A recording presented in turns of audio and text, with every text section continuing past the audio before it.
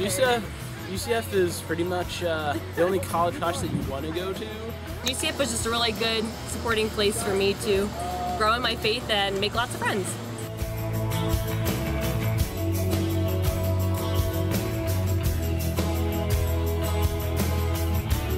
Not just watermelon, cupcakes too. One of my favorite things about UCF is how I can go every week, learn something new, and I can actually apply it to my life on a daily basis.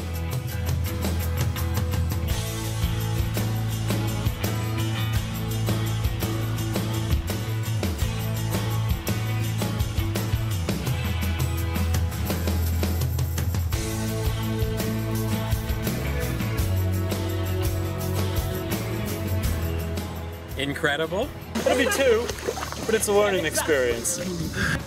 Life changing, Friendly. Fun. open.